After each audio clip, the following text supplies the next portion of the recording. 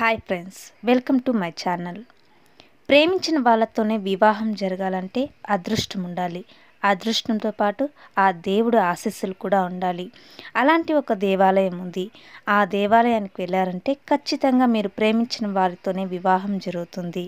మరి ఆ దేవాలయం ఎక్కడుందంటే తమిళనాడు రాష్ట్రంలోని కుంభకోణానికి ఏడు కిలోమీటర్ దూరంలో ఉన్న తిరుశక్తి మట్టం అనే గ్రామంలో శక్తివనేశ్వర దేవాలయం ఉంది.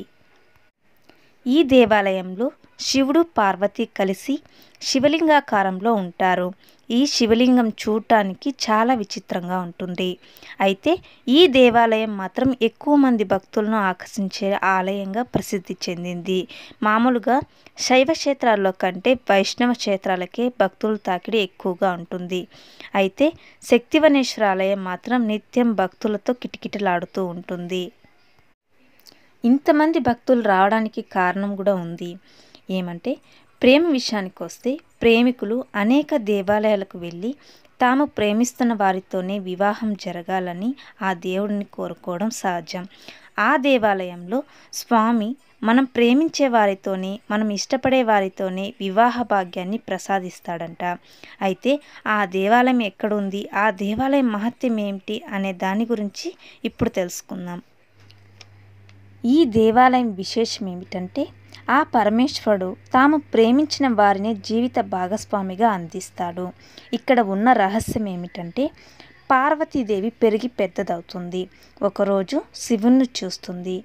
అతనే తన భర్త అని భావించి ప్రతి క్షణం మహాశివుని గురించే ఆలోచిస్తూ ఉంటుంది. పార్వతి శివుని ప్రేమలోనే తన్మయత్వంతో అతనినే పెళ్ళి చేసుకోవాలని నిశ్చయించుకుంటుంది.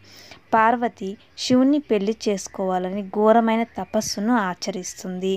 ఆ పార్వతీదేవి తపస్సు చేసిన స్థలమే ఇక్కడున్న దేవాలయంగా వెలసింది. ఆ తల్లి చేసిన తపస్సు యొక్క ఫలితమే ఆ స్థలం ఇంత ప్రసిద్ధిగాంచుటకు కారణమైంది. పార్వతీదేవి ఆ పరమేశ్వరుని భర్తగా పొందాలని ఒకే కాలిపై నిలిచి కఠినమైన తపస్సును ఆచరిస్తుంది. ఇది గమనించిన శివుడు ప్రసన్నుడవుతాడు. ప్రసన్నమైనా కూడా ప్రత్యక్షం కాలేదు. పార్వతీదేవి మాత్రం కదలకుండా అలాగే ఉంది. చివరికి శివుడు తేజోమయమైన అగ్ని రూపంలో దర్శనమిస్తాడు. శివుణ్ణి అలా దర్శించిన పార్వతి కొంచెం కూడా భయపడకుండా ఆ అగ్ని రూపాన్నే కౌగిలించుకుంటుంది.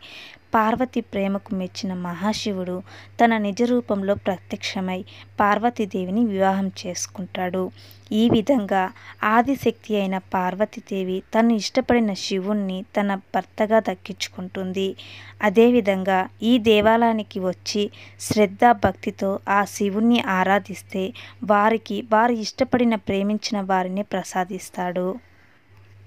ఇక్కడి శివలింగం కథలో చెప్పినట్లుగానే కనపడుతుంది. అంటే ఇక్కడున్న శివలింగం పార్వతీదేవి గట్టిగా కౌగిలించుకున్నట్లుగా కనిపిస్తుంది. ఆ విధంగా ఈ దేవాలయం ఎంతో మహత్వాన్ని కలిగి ఉందని చెప్పవచ్చు. ఫ్రెండ్స్ మీరు ఈ గుడికి వెళ్ళి ఆ శివుణ్ణి అత్యంత భక్తితో శ్రద్ధలతో ఆరాధించి మీరు ప్రేమించే వారితోనే వివాహం జరగాలని మనస్ఫూర్తిగా కోరుకోండి. ఈ వీడియో మీకు నచ్చింది అనుకుంటున్నాను ప్లీజ్ ఇలాంటి వీడియోల కోసం Please subscribe my channel. Thank you for watching. Be happy. Keep smile. Bye bye.